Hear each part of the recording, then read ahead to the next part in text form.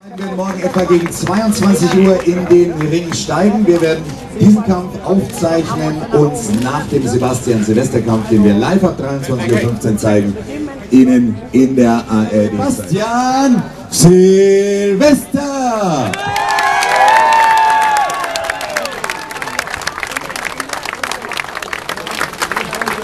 Da ist der Champion!